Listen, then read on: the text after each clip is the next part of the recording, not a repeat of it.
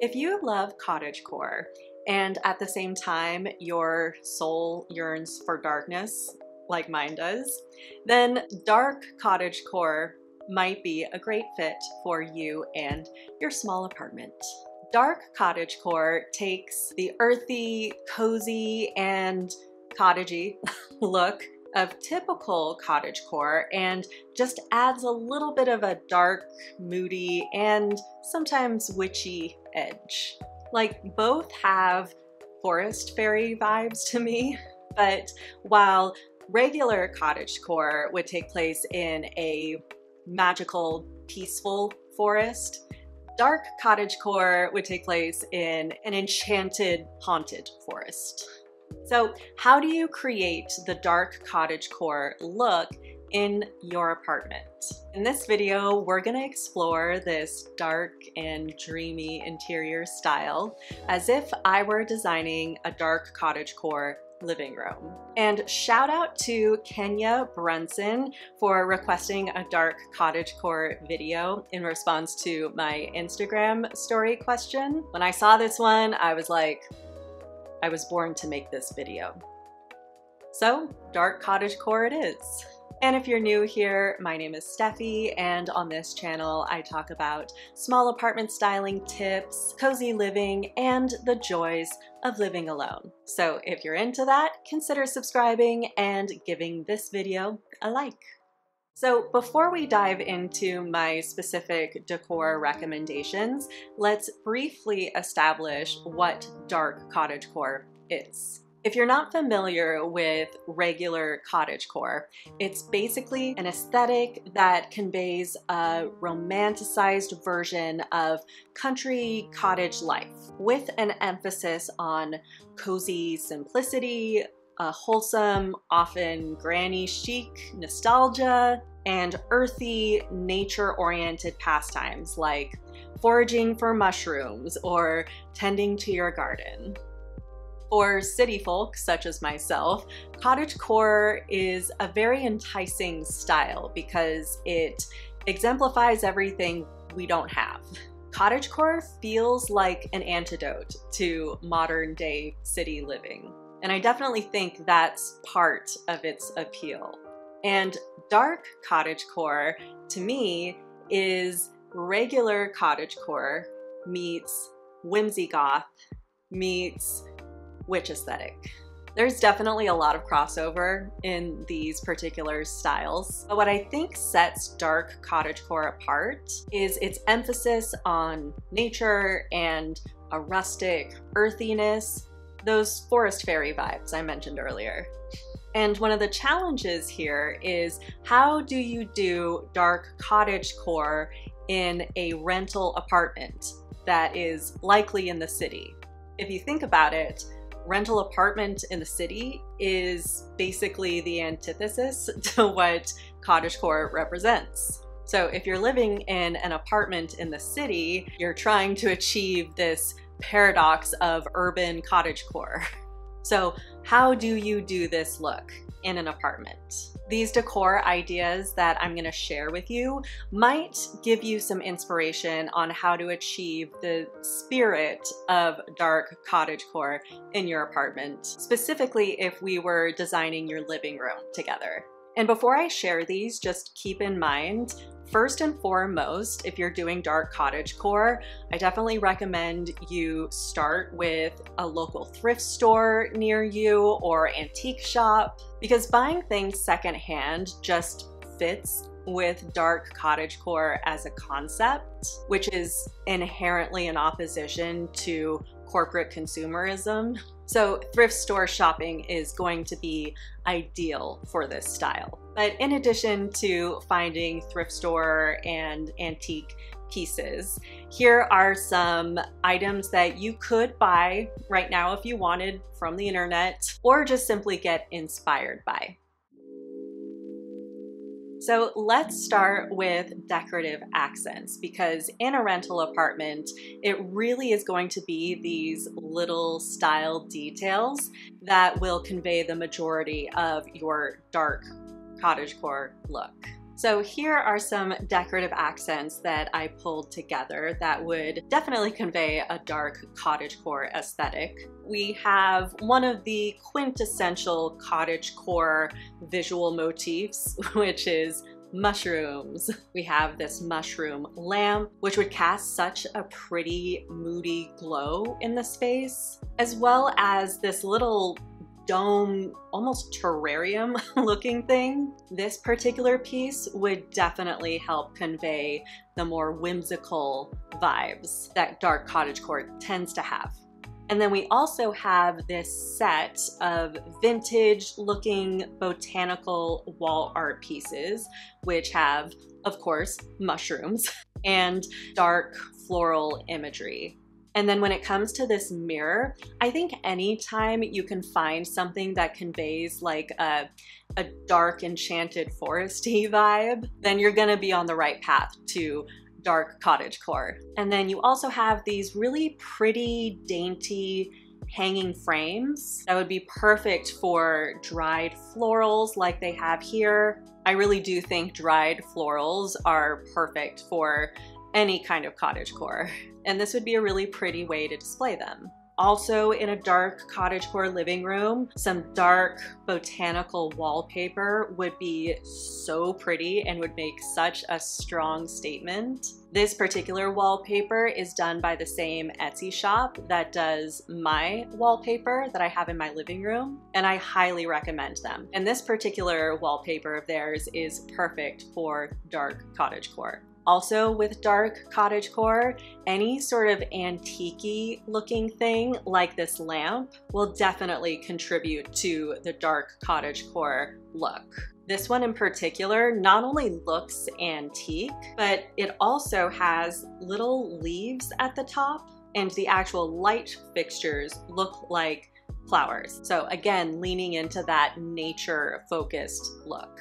And then finally, for a dark cottagecore look, you definitely can't go wrong with some dark moody florals or plants like these faux sprigs in particular. I think these dark sort of purpley leaves give off just the right amount of menacing witchy vibes that I think they would make a really cool interesting statement in a dark cottagecore space. Now let's move on to a specific kind of decorative accent, which is the, the soft things, blankets and throw pillows and the like. And these soft things would look awesome in a dark cottagecore room. Again, we have the, the mushroom visuals in this throw pillow. Really, when it comes to cottagecore, when in doubt, just put a mushroom on it. it's like that Portlandia sketch where they're like, put a bird on it. What a sad little tote bag. I know, I'll put a bird on it. Did you see this bag before? I didn't. Now there's a bird. it's flying, it's free. put a bird on it. Put a mushroom on it is the main takeaway of this video. And then you also have a couple rug options here. One definitely leaning into the enchanted witchy side of things. This almost looks like if you were laying out in your backyard outside of your little cottage looking up at the night sky through the flowers of your garden. that is the vibe. And then for a more conventional but still very strong statement making rug option, there's this one. If you love rifle paper stationery, then you'll probably love this rug because it's it's by Rifle Paper Co. And this one would definitely lean into the more botanical side of dark cottagecore. Remember, forest fairy vibes. If there's ever any question in your mind, just ask yourself, what would a forest fairy do? And then you also have this pretty simple throw, but I thought this would be a perfect addition to a dark cottagecore living room because it has a, a rustic, almost like picnic blanket look to it. And then when you do that look in black, that pretty much embodies dark cottagecore. Like this looks like something that you would keep in your picnic basket in your dark cottagecore home. And then we have some throw pillows with various animals because again, nature is definitely a theme with this style. Then you have this blanket, which to me, this looks like the view that you could potentially see from your dark cottage. Like you walk outside your door and this is your view in, in our in our fantasy of what a dark cottagecore cottage would be. And then I also included this more simple, country-ish looking pillow because much like the, the black checkered throw, it kind of reminded me of a picnic blanket and it would definitely bring things more down to earth, especially if you're leaning into the more whimsical, fantastical imagery that dark cottagecore can display. It's good to have more simple classic pieces that kind of grounds things again. And then of course every living room needs a couch. And when it comes to couches, I mean, you could go one of two ways. You could get a couch that goes full force with the dark cottagecore style in its most like saturated form. Or you could go with a, a more simple neutral couch, and then that would be a good sort of baseline for the more statement making pieces. So I pulled together kind of a mix of both. I have three couches here that are a more neutral, solid color. One being the Sven sofa, which is what I have in my living room, only in gold velvet. Highly recommend this couch. It's extremely comfy. However, if you have a cat, I might not recommend this couch to you because something I didn't consider with this couch is the, the little divots, uh, the tufting divots in it. Um, they're basically cat litter collectors.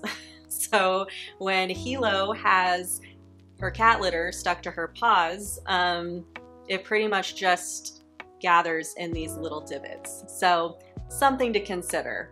It, yeah, I hate it. but other than that, it's a very comfy, lovely couch. So and then we also have this dark brown couch, which would help convey the, the earthiness of dark cottage core. And then this green sectional from World Market, which I've actually seen in person and sat upon myself. And it's a really nice couch for a very decent price. Like it, it feels really comfortable. So just from uh, my experience with it in store, I would definitely recommend this um, this sectional, especially for a small apartment. It's actually a pretty compact sectional. And then in addition to the more neutral couches, I also have some more statement making couches like this checkered one, which again is kind of playing into that picnic blanket kind of vibe I was talking about. Definitely gives a little bit more of a countryside vibe. And then these other two couches would lean into the floral side of dark cottage core. And they look kind of old fashioned, sort of like something you could find in an antique store, but they're Anthropologie. But again, these are the more statement making couches and would therefore be tougher to pair with uh, the various accessories you would want to incorporate for dark cottage core. So I personally would probably lean on the side of the more neutral couches so that I have the freedom to just accessorize however I want. But a big statement making couch is also a very valid choice. and then every living room needs a media console for the television because I've said it before and I will say it again. I am not above having the TV on full display as the focal point in the living room. Basically, I say style around a TV. Don't try to hide it.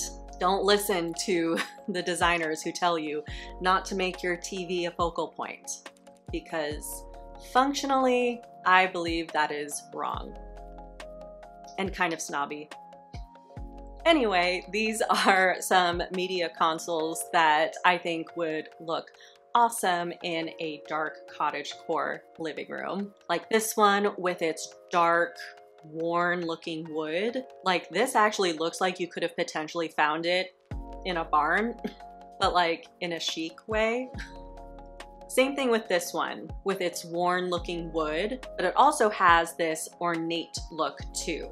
It's somehow rustic and fancy at the same time, which honestly I feel like that's dark cottagecore vibes too.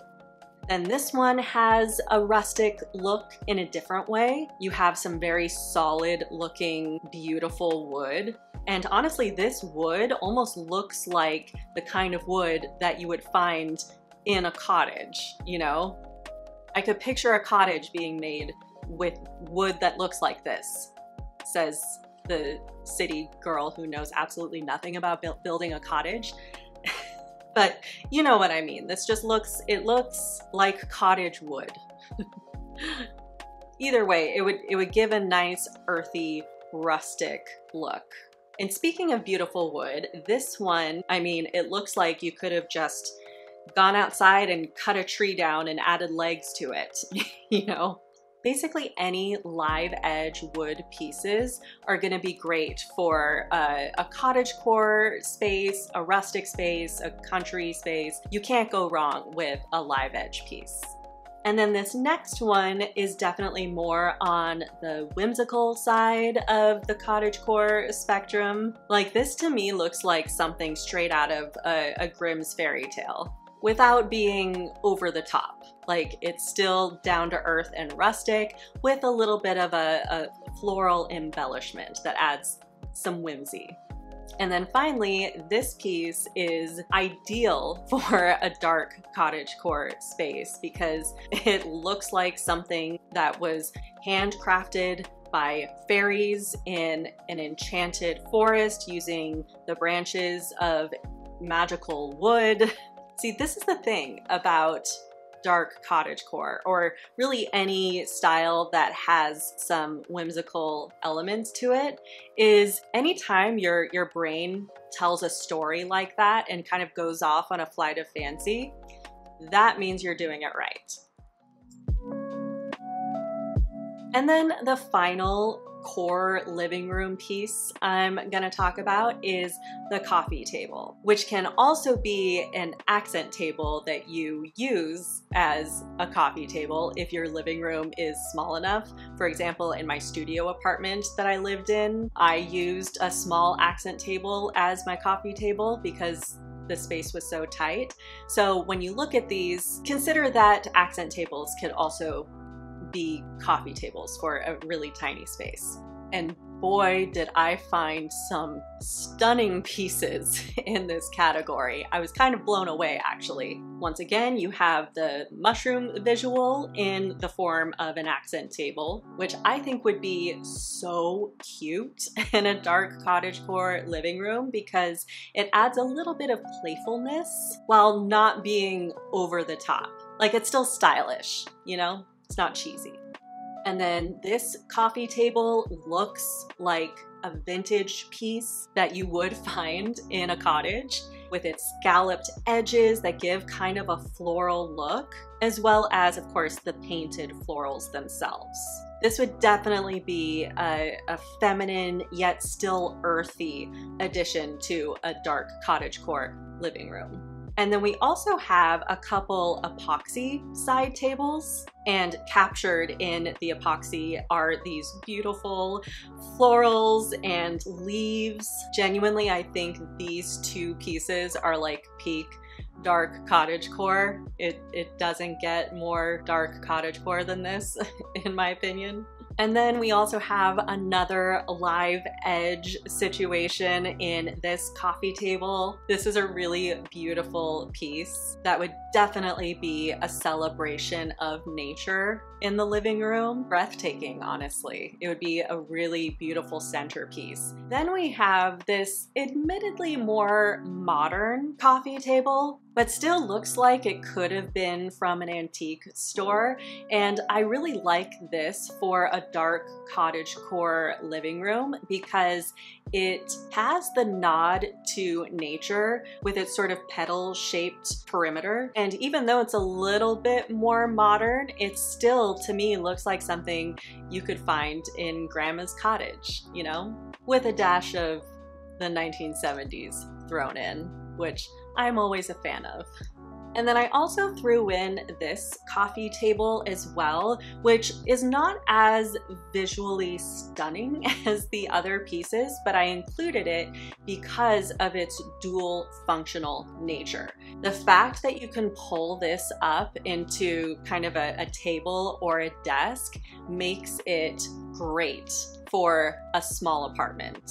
In small apartments, we usually don't have space for a, a dining area, so having this would be a way to have a, a, a dining table of sorts.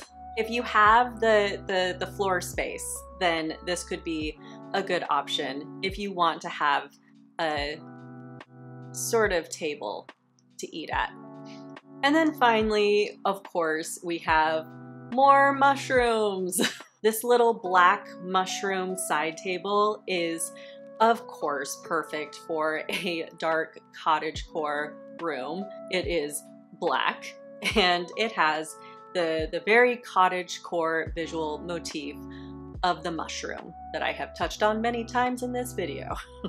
If you're really short on space, but you want just a little surface to at least like set your, your coffee on while you're sitting on your couch, then this would be a great option. It's tiny, but it also very much displays some dark cottage core energy. So those were some specific decor pieces that I thought definitely embodied the spirit of dark cottage core. And of course, we all know that the tricky part is bringing everything together in the space. Like we shop for decor and how do we get a sense of what it could all look like together? That's when I recommend creating a mock-up. And it can really help you make decisions on what to buy and what not to buy.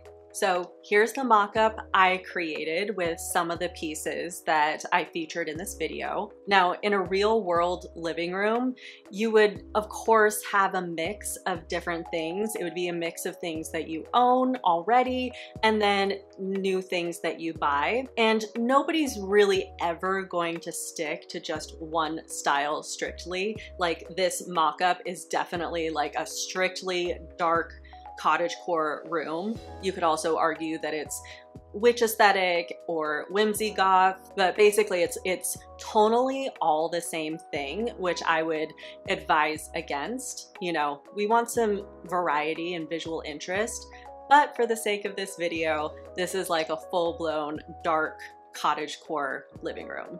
So when doing this in Canva, which is the, the tool that I use, when doing this in Canva, it's so easy to just switch things out. You know, just drag pictures of the things you're thinking about buying and then just play around from there.